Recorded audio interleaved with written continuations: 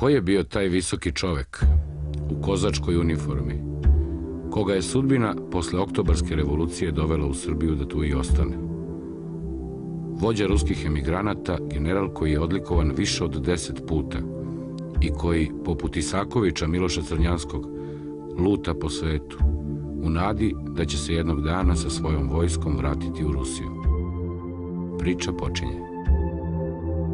Petar Nikolajević Vrangel potiče iz porodice pribaltičkih barona, viteza Tevtonskog monaškog reda. Njegovi preci pominju se još u 13. veku. Od tada služili su u Švedskoj, Pruskoj, Rusiji, Holandiji i Španiji. Ta porodica je dala sedam feldmaršala preko sto generala, ne u Rusiji, nego uopšte. Interesantno da su Vrangeli ratovali protiv Petra Velikog u čujnoj bici na Poltavi. Bili su u Šveđane, uz Karla čuvenog iz švedskog cara. 18. i 19. vek Vrangeli su u Rusiji. Ima više predstavnika porodice Vrangel koji su ušli u rusku istoriju. Neki od njih su bili učesnici rusko-francuskog rata 1812. godine. Njihove imena su u hramu Hrista Spasitelja u Moskvi. Ne, e, jedan još predstavnik te porodice je bio poznati moriplovac i po njegovom imenu se zove više geografskih lokaliteta na severu Rusiji, a Petar Vrangel je poticao iz druge grane porodice. Rođen je 15. avgusta 1878. u Novo Aleksandrovsku u Kovenskoj guberniji. Tehničku školu završio je u Rostovu, a Rudarski institut u Petrogradu, 1901. U elitni konjički puk stupa iste godine i postaje rezervni oficir. Zakratko napušta vojsku, ali već u januaru 1904. na početku Rusko-Japanskog rata dobrovoljno se prijavljuje i biva raspoređen u drugi puk kozačkog korpusa. Uključio se dobrovoljno u taj rat i u tom ratu pokazao izuzetne strateške vojne sposobnosti. Napredovao je do kraja Rusko-Japanskog rata, bio je odlikovan, pokazao je svoju hrabrost, osetio je verovatno nešto u tim vojnim krugovima što je nego privlačila, odlučio je da upiše vojnu akademiju i od tog vremena više ne prekida, ne skida vojne polete, do kraja svog života ostaje u njima. Tako počinje jedna briljantna vojna karijera čoveka koji je govorio da postoje samo dva prava muška posla. Lov i ratovanje. Do kraja Prvog svetskog rata Petar Nikolajević Vrangel biće odlikovan još devet puta. Dakle, blistav intelektualac, čovjek koji ima sjajnu budućnost u civilnom administraciji, se priključuje ratu i odlozi da se bori to ne u neki lepgardijsku jedinicu, nego u običnu kozačku jedinicu samo sa ciljem da pomogne, pomogne svoje otačbine u rusko-japanskom ratu. Na vojnoj paradi car Nikolaj II. primetio je Vrangela, a kad mu je rečeno da su njegovi preci verno služili ruske careve, imperator odlučuje da baron trajno ostane u elitnom gardijskom konjičkom puku. 1909. završava Nikolajevsku imperialnu generalštabnu akademiju kao sedmi u klasi.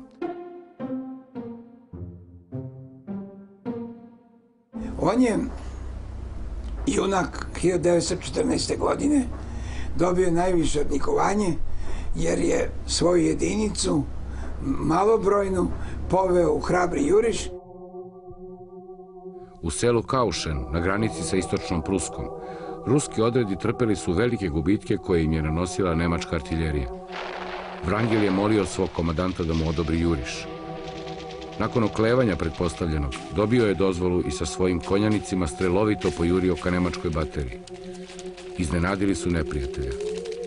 Ipak, na domak nemačkih topova gotovo svi ruski oficiri su pali, ranjeni ili mrtvi. Vrangelov konj bio je raskomadan. On sam, nekim čudom, nepovređen. Zgrabio je pušku i sa preostalim vojnicima utrčao među posadu nemačkih topova koje su Rusi za par trenutaka zaplenili. Nije bilo zarobljenika. Za pokazanu hrabrost, prvi među ruskim oficirima u Prvom svetskom ratu dobio je orden Svetog Đorđa četvrtog stepena, najviše rusko vojno odlikovanje. Njegova slika našla se na naslovnici ilustrovanog časopisa Vojni letopis. U decembru 1914. dobio je čin pukovnika, a tokom sledeće dve godine komanduje pukovima i brigadama u kojima su služili kozaci. Tako je bilo njegovo sudbino da on stalno bilo bio uz kozake. I kad se prvi put priključio uh, vojsci, kada je u rusko-japanskom ratu krenuo da se bori, on je bio u jednom uh, u jednoj kozačkoj formaciji. Kasnije za vreme rata na ratištima Prvog svjetskog rata je bio opet u kozačkim jedinicama. Završio je Prvi svjetski rat kao general major na čelu uh, svodnog uh, korpusa kavalerijskog. I na taj način on je bio povezan sa kavalerijom, bio je povezan sa kozaštom, ali sa tim tradicijama. U januaru 1917. sa 39 godina za ratne uspehe unapređen je učin general majora – Nekoliko meseci kasnije za odbranu ruskih linija na reci Zbruč odlikovan je krstom Svetog Đorđa četvrtog stepena. Tada počinju ekstremno turbulentni događaj u carskoj Rusiji, a nakon boljševičkog prevrata i sam Vrangel se ponovo našao u opasnosti. Revolucionari su ga uhapsili na Krimu u njegovoj dači krajem 1917. Zahvaljujući odanosti supruge, baron uspeva da im umakne. Stiže u Kijev, ali se tu ne zadržava dugo. U leto 1918. pridružio se dobrovoljačkoj armiji u Jeketerinodaru. Poverena mu je komanda nad prvom konjičkom divizijom i postigao je velike uspehe na Severnom Kavkazu krajem 1918. Njegova divizija prerasta u korpus, a uskoro u januaru 1919 biva nazvana Kavkaska dobrovoljačka armija. Zbog discipline koju je zaveo među vojnicima, počeo je da biva omiljeni u narodu. Ipak, posle otvorenog sukoba sa generalom Denjikinom, koji je izbio zbog neslaganja u vezi sa novim operacijama, oduzeta mu je komanda i on se našao u nekoj vrsti izgnanstva u Carigradu u februaru 1920. U to vreme General Kolčak biva ubijen, a situacija u kojoj se nalaze Beli sve je teža. Nedugo zatim, Denjikin se povlači sa mesta glavnokomandujućeg. Vojni komitet u Sevastopolju poziva generala Vrangela da prihvati komandu nad snagama Bele armije na Krimu.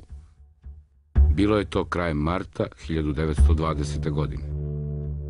Njemu su rekli njegovi saborci, sada primiti u Rasulu belu armiju carsku, belu dobrovoljačku, može samo budala ili neznalica. Kada je primio tešku dužnost, rekao je Delio sam sa svojom armijom slavu pobeda i ne mogu odbiti da ispijem sa njom gorku čašu poniženja. Ubrzo, u junu i septembru iste godine pokreće pohode ka Dnjepru i Kubanu. Napravio je vladu koja je pokušala da sprovede reforme, pa čak i one agrarne, i priznao novostvorene antiboljševičke republike. On je zaveo red u vojsci. On je zaveo red u snabdevanju. Sa Krima su pšenicu u Vrangilovo doba izvozili u Evropu.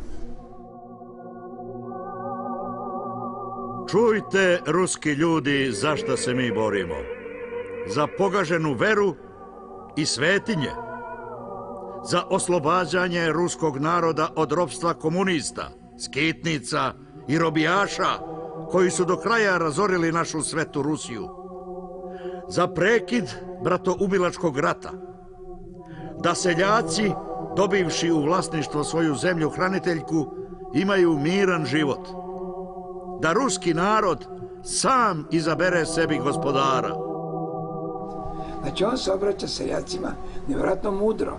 I seljaku je samo to važno. Da ima svoju zemlju i da može miran da živi. Zato seljaka i ne vole komunisti. Jer on je jedini čovjek slobodan u komunizmu. Jer on može da kaže ja za svoju porodicu imam što mi treba, koji si ti uopšte meni. Međutim, engleska vlada koja mu je u početku pomagala, to više ne čini. Ali Francuzi i dalje službeno priznaju njegovu vlast. Boljševici koji su potpisali primirje sa Poljskom napadaju ga svim snagama. Kada su uspeli da zaozmu zemljo uz Perekop između Ukrajine i Krima, situacija je postala bezizgledna. 3. novembra 1920. general Vrangel obratio se oficirima i vojnicima na posljednjoj smotri u Rusiji. Po mojoj naredbi već su počele pripreme za evakuaciju. Za izvršenje duga pred armijom i stanovništvom učinjeno je sve u granicama ljudskih moći. Dalji naši putevi su puni neizvesnosti. Druge zemlje osim Krima mi nemamo. Organizovana je takozvana krimska evakuacija. Na više od 120 brodova ukrcava se 100.000 vojnika i 50.000 civila, koji posle dosta muka stižu do Carigrada. Upravo u tom gradu Petar Nikolajević počeće misiju koja će ga dovesti na prostore naše zemlje, u kojoj se već nalazilo mnoštvo ruskih izbeglica koje su stigle iz Odese i Novorosijska. Politički pritisci i ogroman problem izdržavanje ljudi u Carigradu i logorima u okolini Galipolja, na Lemnosu i Čatalđi, ponovo ga dovode u tešku situaciju. Veliki broj vojnika umirao je od zaraznih bolesti, a bili su i u nezavidnom materijalnom položaju. Ovo je spomenik koji su Vrangelovi vojnici na Galipolju podigli svojim mrtvim drugovima. Britanci su u martu 1921. potpisali trgovinski sporazum sa Sovjetskim savezom, a gotovo istovremeno francuska vlada postavlja Vrangelu ultimatum od tri mogućnosti. Da se armija sa njim na čelu vrati u SSSR, da odu u Brazil ili Peru, ili da žive od sobstvenih sredstava. Prva dva predloga on odbija, ali francuske vlasti tada dozvoljavaju široku agitaciju po ruskim logorima u okolini Carigrada za povratak u Sovjetski savez ili odlazak u Južnu Ameriku. Tragedija se nastavlja. 3500 ljudi vraća se u SSSR, a 3000 odlazi u Brazil. Nekoliko stotina ruskih vojnika prijavljuje se u legiju stranaca. I ovim okolnostima pokazalo se da Rusija, koja je pre toga učestvovala u bojnim operacijama, imala je puno saveznika čitom sveta, takvih saveznika nema. U evakuaciji u Carigradu se dešava prvi atentat na Vrangela. Brod, gde on je živio sa porodicom, ovde jedan sovjetski parobrod je pokušao da atakuje njega i direktno je udario. Jahta je bila potpuno ništa, ali sa sreća e, e, gospodin Vrangel u to vreme nije bio na toj jahti i preživao je to. Ideje o seljenju u koloniji koji su ponudili Francuzi i Englezi, ali u dispersnom seljenju. Ne znači da se preseli cela vojska na jedno ostravo ili na, u jedan grad, nego dispersno da se preseli po kolonijom jeste bila faktički ideja o uništavanju toj vojske na to vremenu, nije mogo da ide. Ne pokušava da razgovara sa najrazličitim zemljama, čak postoji glasnje da je razgovarao i sa Japanom i sa upravom uh, afonskih, uh, atomskih manastira, ali kao takav Vrangel je e, našao razumevanje u dve južnoslovenske zemlje. U Bugarskoj i u Kraljevini Srba, Hrvata i Slovenaca, a tada još u e, zemlji koja je bila pod upravom Karadžorđevića, možemo slobodno da kažemo u Srbiji. Sam Aleksandar Karadžorđević je studirao u e, Petrogradu. Kralj Aleksandar je, dakle, po tim svojim uspomenama iz mladosti bio veoma prijemčiv za celu tu priču viteštva, plemenitih ratnika, boraca za izgubljenu stvar, kakav je bio Vrangel. Tokom juna 1921. pa sve do novembra iste godine ešaloni njegovih jedinica stižu u kraljevinu Srba, Hrvata i Slovenaca, u kojoj se već nalaze hiljade ruskih izbeglica koje su stigle iz Odese i Novorosijska – ruska imigracija ovde je našla veoma povoljne uslove. Bez viza, bez pasoša se doseljavalo relativno puno imigranata. Sirotinja kako je dočekivala.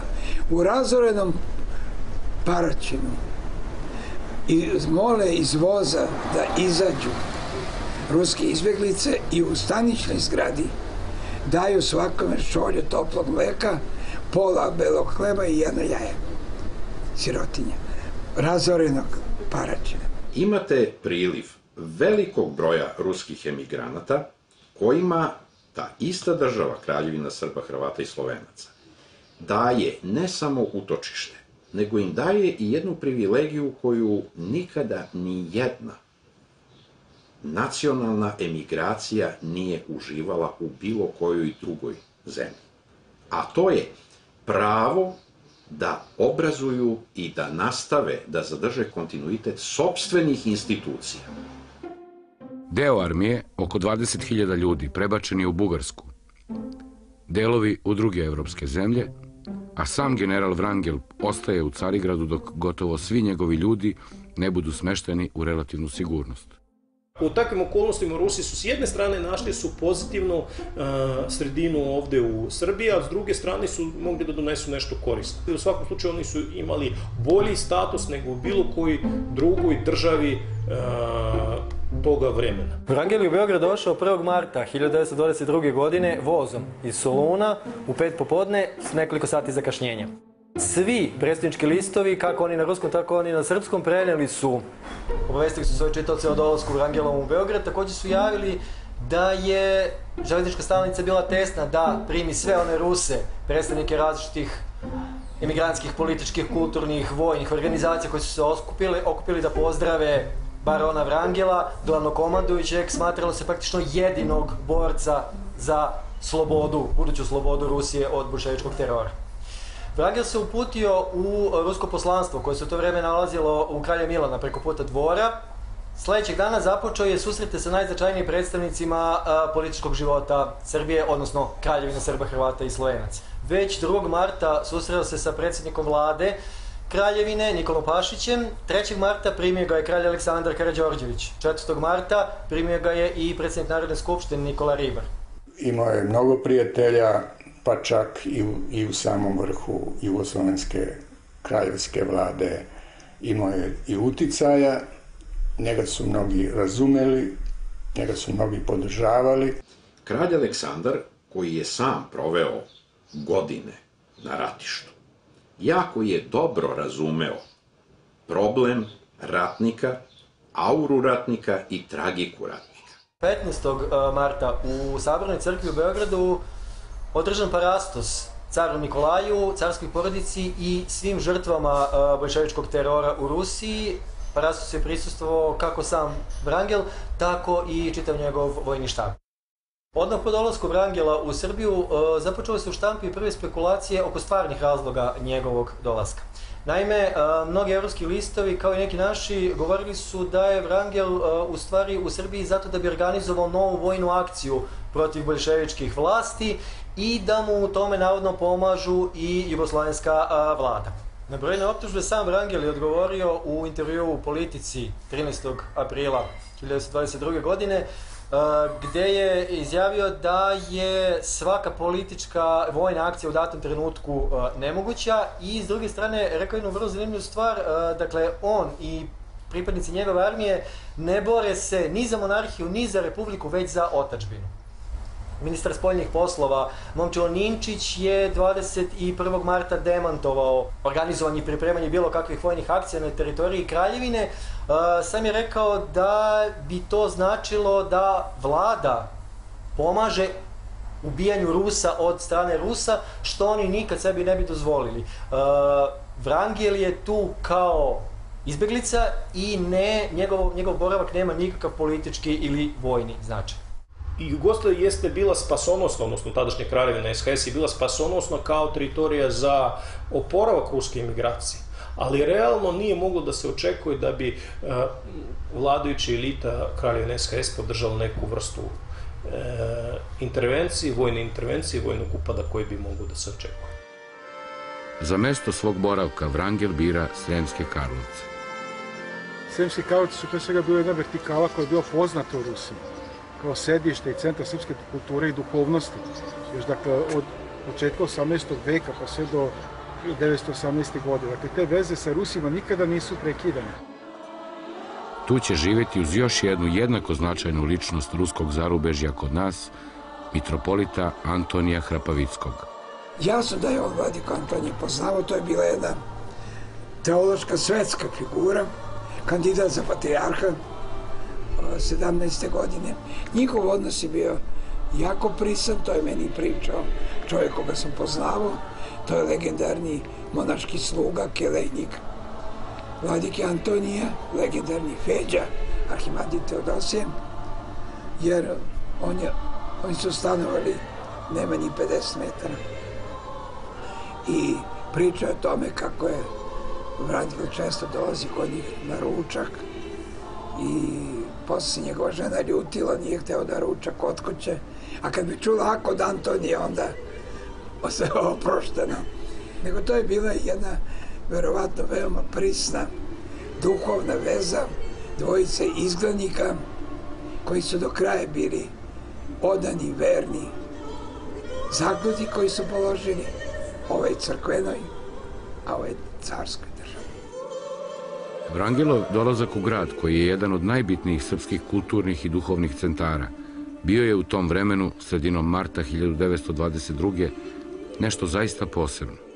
U svakom slučaju tu je kulturni mentalitetski tip uh, Rusi i Srba je bio najbliže. I zato u ovom tihom uh, mestu se skrasio Petar Nikolajević Vrangel. Odjednom celo to tiho i daleko od uh, velikih svetskih dešavanja mesta, koje je zadnji put za vreme Karlovačkog mira izašlo onako na svetsku pozornicu, se pretvorilo u mesto gde su brujeli stotine Rusa gde su hiljade vojnika su izlazili na neki egzercer što je onako divilo i čudilo lokalne seljake. Doduše, to su bili ne prave vojničke vežbe, zato što mnogi od njih su po danu radili kao kamenotesce ili su kao nosači ili kao fizički radnici, čak ljudi sa fakultetima su to morali da rade na samom početku. Ali u slobodno vreme su mogli da stave uniformu i da rade.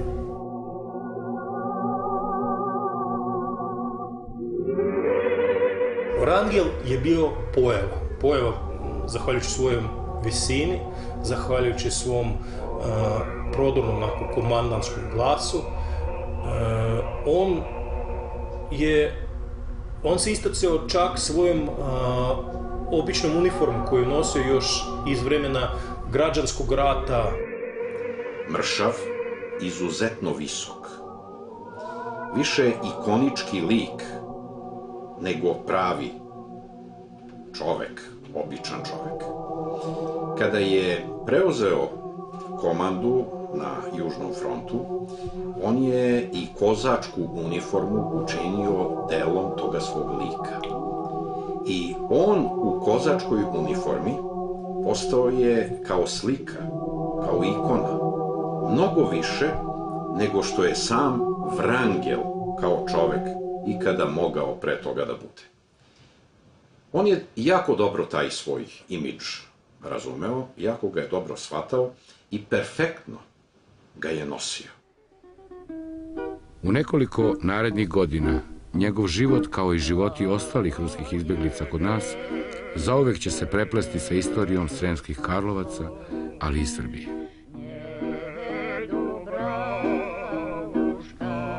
Oficiri i manji kozački odred garde bili su smešteni u zgradi stare gradske bolnice, koja je nazvana Špital. Deo ljudstva bio je u svečanoj dvorani magistrata u Blagodjejaniju i po privatnim kućama. I sam Vrangel bio je neko vreme u špitalu, a zatim mu je dodeljen stan u kući koja i danas postoji i koja se nalazi u užem centru grada. Vrangelu se 1922. u Karlovcima pridružuju otac i majka koji su pobegli iz Sovjetske Rusije. U našu kraljevinu stigli su iz Drezdena. Oboje su bili izuzetno obrazovani ljudi koji su ostavili pisana svedočanstva memoarskog karaktera.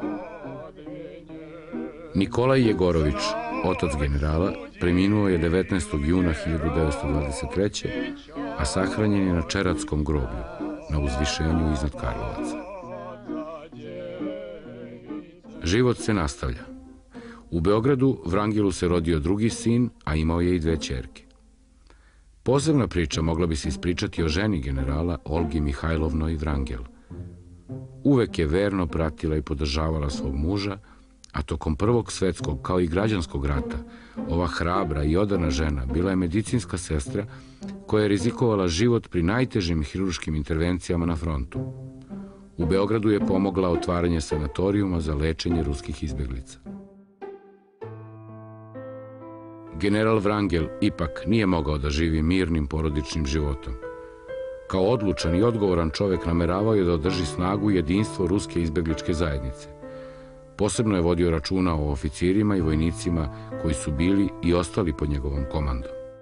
Neki od njih bili su razrešeni starih dužnosti, a dobijali su nove.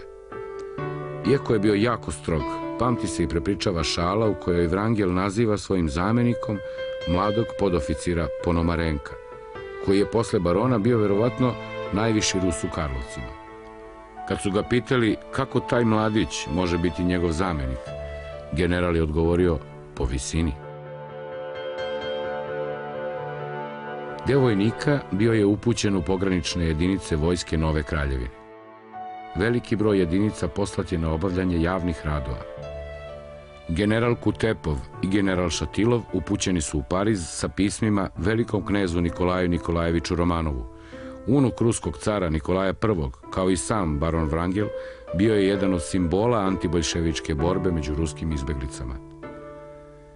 Članovi štaba, visoki ruski oficiri, priredili su zabavu u dvorani srpskih narodnih fondova uz pomoć karlovačkih dama, a u korist siromašnih ruskih učenika, vojnih škola u Kraljevini Srba, Hrvata i Slovenaca. Među onima koji su se trudili da maksimalno pomognu izbegle Ruse, bio je gradonačelnik Karlovaca Stefan Simeonović Čokić, koga su ruski oficiri odlikovali.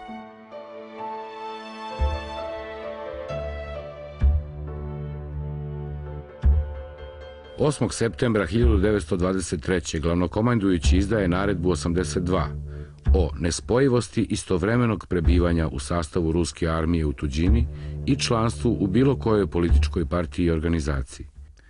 U decembru iste godine u Sremskim Karlovcima održano je veliko savjetovanje armijske komande i vojnih saveza u drugim zemljama o vodećoj ulozi kneza Nikolaja Nikolajevića Romanova u upravljanju nacionalnim radom u egzilu. Samo nekoliko dana kasnije, Vrangel je završio pisanje drugog dela svojih uspomena. U proleće sledeće godine general Abramov upućen je u Bugarsku, a general Evgenij Karlović Miller u Francusku. Znajući da njegovim sunarodnicima prisustvo glavnokomandujućeg armije u egzilu puno znači i uliva sigurnost, jer su mnogi od njih živeli u veoma skromnim uslovima, Baron Petar Nikolajević putovao je po ruskim kolonijama u Evropi, a posebno po onima koje su se nalazile u našoj kraljevini.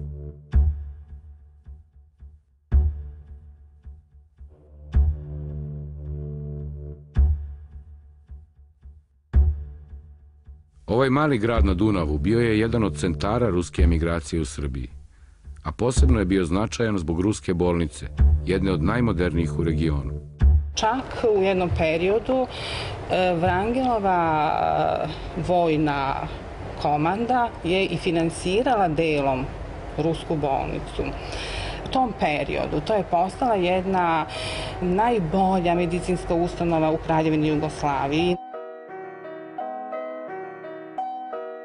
Vrangel je više puta boravio u Pančevu na putu za Belu crkvu. E, prvi put u martu 1922. godine. Koliko je Vrangel bio popularan u Pančevu među ruskom imigracijom i uopšte među građanima Pančeva, svedoči to da je štampa tada donela informaciju da su ga građani na rukama uneli u kuću Branka Stefanovića, bez obzira na, na rane jutarnje sate, jer je Vrangel u 6 sati ujutru bio u Pančevu. Građani su ga ispratili na pristanište. Tu na pristaništu jedan srpski oficir prišao je Vrangelu i zamolio ga da se svira ruska himna. General je to odobrio.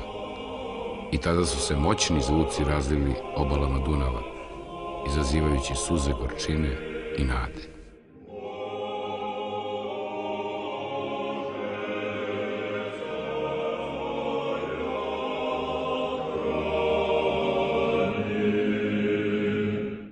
Poseta je bila 1922. godine 30. septembra. E, smatra se veoma značajnim datumom za rusku emigraciju. Tada je Vrangel došao u Pančevo na zasedanje Ruskog saveta nacionalne vlade u izgnanstvu. Ona nije bila podržana od zemalja Zapadne Evrope, nije finansirana, materijalno nije podržana, nije podržana i od mnogih e, emigrantskih organizacija jer je već bilo očigledno da bolševici odnose pobedu. Tako da je Vrangel doneo odluku e, o ukidanju te vlade 30. septembra 22. godine u Pančevu. Kompletna vlada je zasedala, veoma burno je to zasedanje proteklo. To čitamo, e, o tome piše Davac u svojoj knjizi Godi. Veoma je zanimljiv i opis generala Vrangela, koji je ostavio Giga Stojnov u memoarima Sećanja starog Pančevca. Sećam ga se i sada. Bio je vrlo visok, sa obrijanom glavom, u kozačkoj uniformi. U pratnji oko dvadesetak oficira. Kada je ušao u salu, poslužen je po ruskom narodnom običaju vodkom. Kada su mu prineli čašu, on je iz džepa izvadio jednu tabletu. Ispustio je u čašu koja se odmah zapenušala. Oni drugi Rusi koji su bili bliže njemu govorili su da on to čini ispred ostrožnosti, da ne bude otrovan. Veliku ulogu u očuvanju sobstvene nacionalne tradicije igrale su ruske obrazovne institucije kod nas. Od 1920. nastavni zavodi i školske ustanove stižu u ovu malu vojvođansku varoš u kojoj je boravilo više od 2500 Rusa. Među njima se posebno izdvajaju Devojački Marinski Donski institut i kadetski korpusi, o čijem istorijatu danas brine Vladimir Kastiljanov.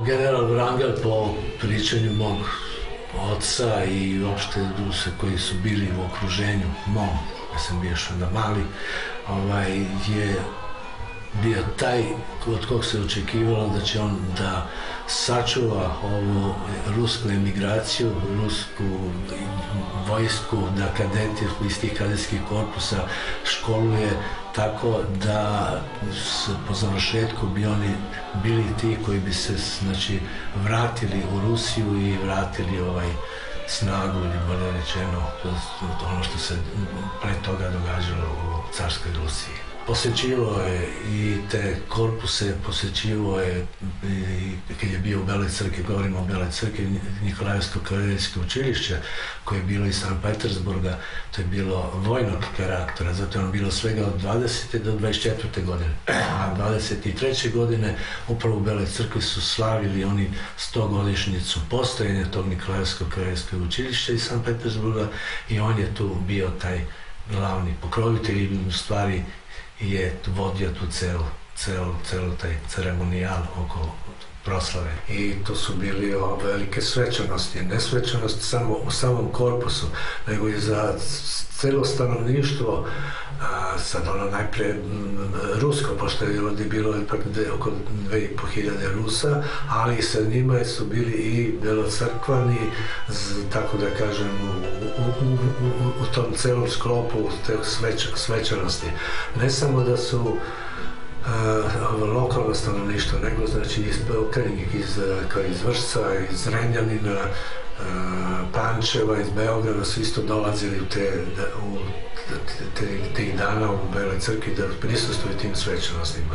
U priči mog oca Vrangel, pošto on se povlačio sa Vrangelom, mislim, oni su, to je, to je to bilo sa Vrangelom, tamo u Belipolju i tako dalje, mislim, uh, on je, on je bio па ето тако може да него граста преко два метра и тоа па и била една фигура која која со страхопоштовањем са, и со љубовлју према нему.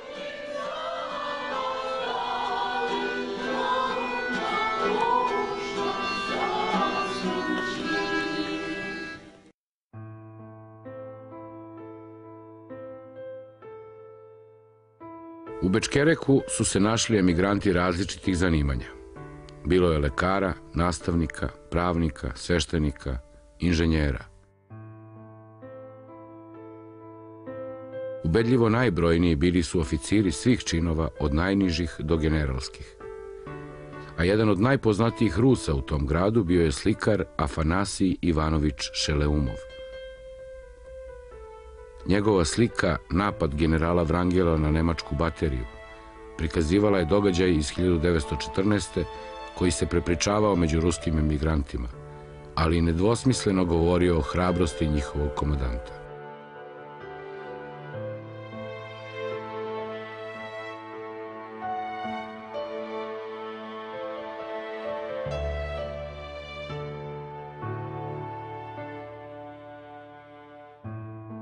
Petar Nikolajević Vrangel posetio je ovaj gradić, a razlog za to bio je obilazak zaposlenih, ali i štićenica jedne vrlo bitne ruske obrazovne institucije, Harkovskog instituta, koji je u emigraciji funkcionisao upravo ovde, u Novom Bečeju.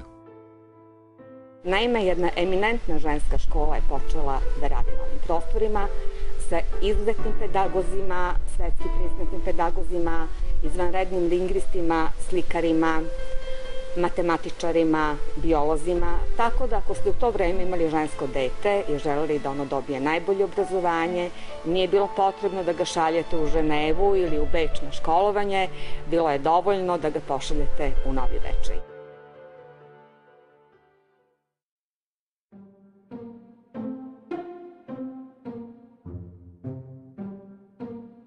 Pošto je u ovom gradu bila jedna od najvećih ruskih kolonija kod nas, general Vrangel je nekoliko puta boravio u Srpskoj Atini.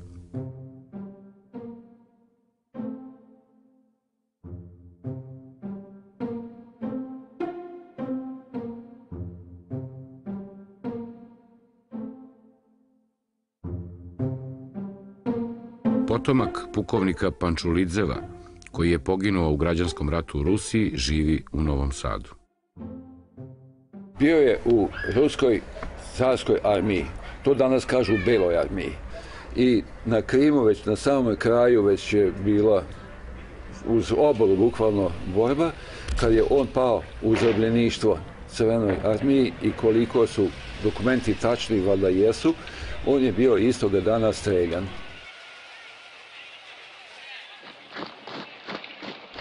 Neka veza između Vrangela i naše porodice dalje, to je da je Vrangel bio nosilac svih aktivnosti građanskih i vojnih u Srbiji.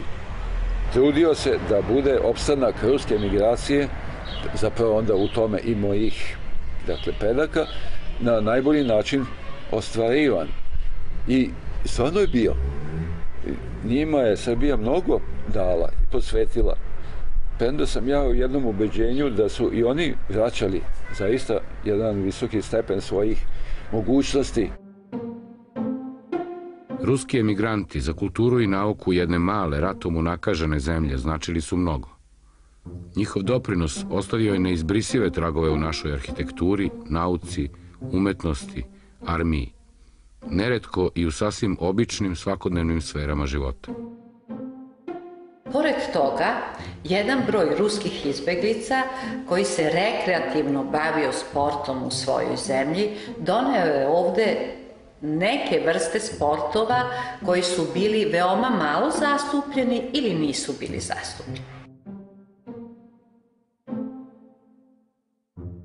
Rusi su videli da Karlovčevi napajaju goveda i konje u jednom maloj bari koja preko puta ove ulice se sada nalazimo, snivala se iz gornjeg grada kad je jedan izvor, ali nikako nije bio artikulisan i onda su nekoliko inženjera Vrangelovih vjerojatno inicijativu samog generala podigli česmu posvećenom svetom Andriji Prvozmanom, dakle zaštitniku carske Rusije, sa velikim valom. To je bilo pravo iznenađenje, ta česma i danas ovde funkcioniše, to je najbolja voda koju možete u Karlovcima piti. Među posebno zanimljivim predmetima koji su ostali u Srbiji, a pripadali su Rusima, nalaze se kozačke sablje.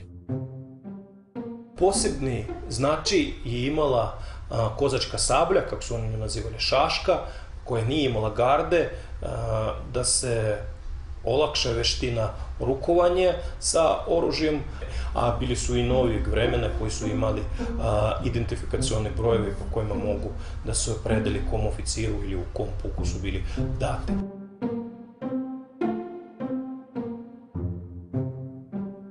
Ovo je replika Galipoljskog krsta, koji je Vrangel davao vojnicima koji su prošli evakuaciju sa njim. A ovo je knjiga iz lične biblioteke Petra Nikolajevića.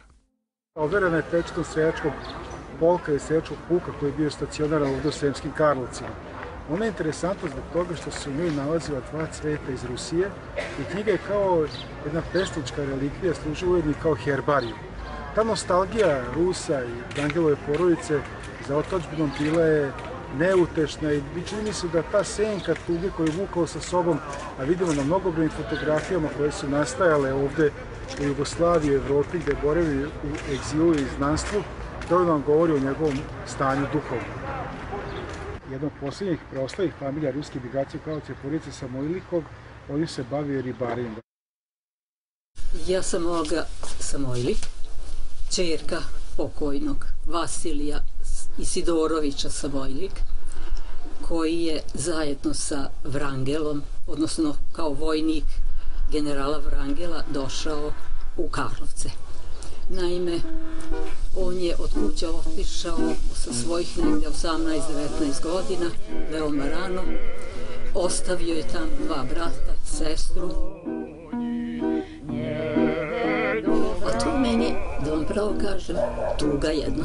Kad ja to o tome tako mislim, razmišljam, to meni tužno. To se provlači kroz to što moj tata bio, da li je bio depresivan, vjerovatno da jeste, tada ja to nisam shvatala, ali on bio jako ozbiljan, e, nama je, sa nama je, nije mnogo razgovarao, nama je zapovedao to da se uradi, nas bilo šestoro dece, to da se uradi, to da se uradi, tu nema pogovora, mi, mi smo njemu govorili, vi,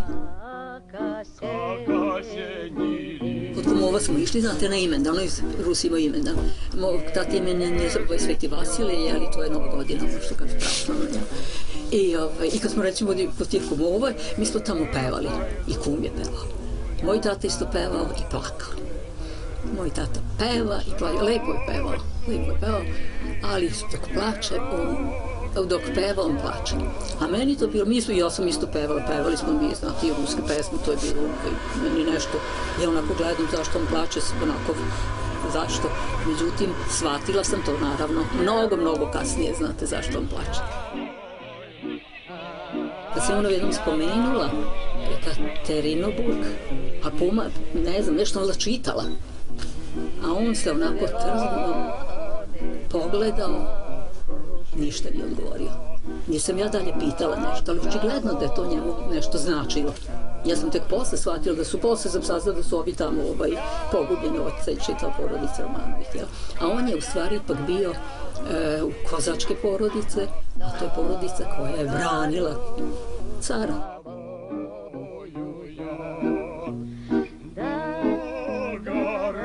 Svako ili skoro svako od emigranata je živio onako na koferima kao što su oni govorili. Znači očekivali su da će svakog dana da krenu na... Čovjek sa čebadanom porovski, sa koferom, jer se nadao da će kad tad bit, vrat, vratiti se u Rusiju. Ovo sam sve pričao iz toga što je to bilo i mišljenje mnogih Rusa tako. Provuklo se skroz do kraja. Moj otac je 97 godina živio, ali u Rusiju nije vidio, mislim, tako da, ali ali je to ostalo i uopšte kod ovih Rusa koji su se eto našli u izgledstvu. Među pripadnicima dobrovoljačke bele armije tinjela je neka ne samo želja, nada da će otići da oslobađaju Rusiju, da oslobađaju Rusiju. 1. septembra 1924. godine u Sremskim Karlovcima Vrangel je osnovao Ruski opšte vojni savez – poznati kao ROVS. Najbrojniji deo pripadnika te organizacije nalazio se kod nas i u Bugarskoj.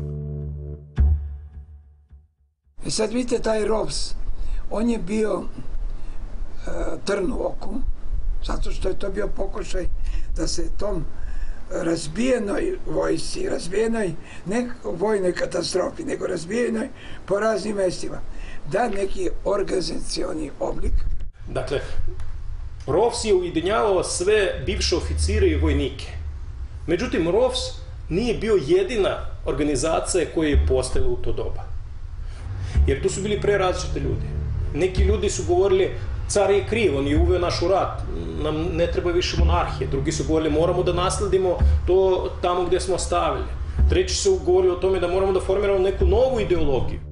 Bitni politički i finansijski tokovi koji bi mogli da utiču na povratak Vrangelove vojske u Rusiju i borbu sa bolševicima nalazili su se ipak u zapadnoj Evropi.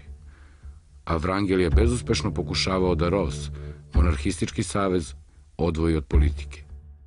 Ali kad vi izbjegavate stranačke tokovi i same volen snolen stvarate nešto svoje, nešto političko, nije moglo da se radi iz tako tihog, lepog, ušuškonog mesta kao što su bili, a i u naše vrijeme kao što su jesu Sremski Karlovci. On je bio prinuđen da napusti Srbiju, zato što je osjećao da je centar događaja ipak Berlin, Pariz. Razočaran, umoran, sit lažnih obećanja i zakulisnih političkih igara, kao i raznoraznih pritisaka, poslednji glavnokomandujući Ruske dobrovoljačke armije Petar Nikolajević Vrangel u novembru 1926. napustio je Sljemske Karlovce. Prvo je otišao u Francusku, a zatim u Belgiju. Posle godina borbi i strahovitih napora, razboleo se u Briselu. Po jednoj verziji, Otrovao ga je brat njegovog sluge koji je došao iz Sovjetskog saveza, ali to nije dokazano. General Vrangel preminuo je u Briselu 25. aprila 1928. ne napunivši 50 godina. Smatra se i danas da je otrovan. I danas se ta tematika istražuje. I danas istoričari nemaju svoj sud, jer ni medicina nije rekla ono što je trebalo da se kaže. Ja mislim da je ipak otrovan. Svi simptomi o tome govore. Ali veoma verovatno i po otvaranju savremenih arhiva državne bezbednosti u Rusiji to će verovatno više da se utvrde, ali u sadašnjim memoarima nekim e, već bivših pripadnika državne bezbednosti može da se to utvrde, vjerojatno on jeste bio isto žrtva bolševičke likvidacije. Kad je na njegovo mesto došao jedan veoma energični pukovnik carske armije, a general Bele armije. Kutepov, njega su kidnapovali, njega su kloroformom kao uspavali i gurnuli u kola. A Miller je njegov naslednik, treći rukovodilac Ropsa, on je pokusio sve strahote komunističkog, bolševičkog protivnika. I pored toga što je bio sahranjen u Belgiji, U testamentu je napisao da želi da počiva u glavnom gradu svoje druge domovine, Jugoslavije. Njegovo telo ekshumirano je i preneto u tadašnju, a i sadašnju prestonicu naše zemlje. Nije slučajno da on nije bio sahranjen tamo u zapadnoj Evropi, već je bio vraćen tu gde je bio, bio centar duhovne ruske imigracije, verski centar ruske imigracije, tu gde su Rusi imali najveću slobodu i mogli su da izraze njemu najveće poštovanje i vratio se u kraljevinu SHS. To je bila najveća međuratna sahrana pre sahrane kralja Aleksandra Karadžorđevića, nego grob je uh, prošao kroz celu zemlju na tom putu uh, železničkom prugom. Na svim stanicama su izlazili lokalne predstavnice ruskih kolonije koji su živjeli tamo, bacali su cveće, plakali su. Ovde u Beogradu se skupili svi koji su mogli da dođu. Ovo je bila neka vrsta poslednje parade te velike ruske emigracije gde su prisustvovali svi predstavnici i starije generacije rođenih u Rusiji koji su uskoro takođe su naposlili ovaj svet i oni koji su se tek rodili, mnogi od njih koji su se rodili već tu, svi su oni prisustvovali u ovoj sahrani i E, na taj način čitav Beograd je bio potresen brojem tih Rusa koji su izašli u tadašnjim a, srpskim novinama sa iznenađenjem neki novinari pišu, a nismo ni znali da ima toliko Rusa u ovom Beogradu. 6. oktobra 1929. general Vrangel sahranjen je na parčetu ruske zemlje, u crkvi Svete Trojice na Tašmajdanu, gde i danas počiva njegovo telo. U toj crkvi su čuvani ovaj, barjaci i zastave Bele armije, a među njima je bilo više od pola istorijskih zastava carske armije, još iz doba Napoleona, to je Skutuzova. On je to znao i hteo je da bude sakranjen ispod zastava svoje armije.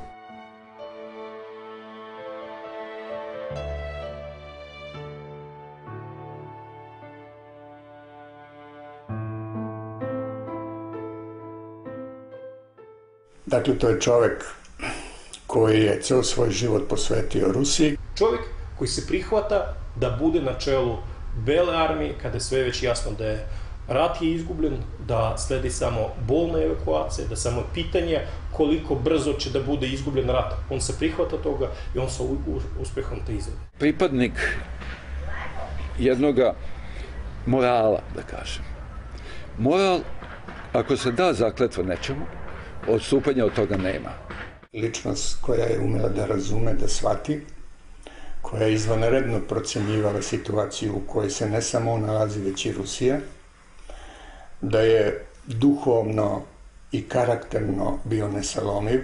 On nije nikada popustio, nikada nije postavio svoje lične interese, svoju ličnu korist ispred zajedničkih interesa, ispred interesa Rusije.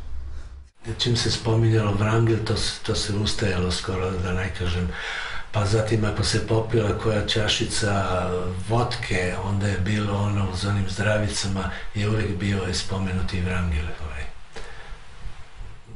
Ime Vrangela živi i dokaz je to što ste vi poželjeli da snimate o njemu storiju, priču o Vrangelu u Srbiji.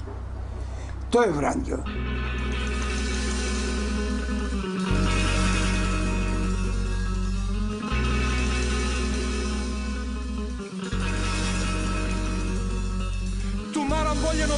Zemljom, gluv za svakodnevicu. Buka je prekrila sve znake života, vidim se tek u ponekom pogledu. Da li da topam ili da čekam, da li da poginem ili da se sećam. Pitaju se vreli koraci, dokle moja snaga može da dobaci. Tama je